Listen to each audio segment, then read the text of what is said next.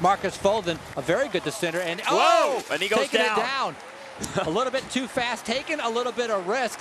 Definitely trying to get there, but oh my gosh, that slick road. You can see a little bit of lockup of the wheels, and Markus Fothen went down very, very quick. I'm sure disappointed with himself with pretty much a, a kind of a silly mistake.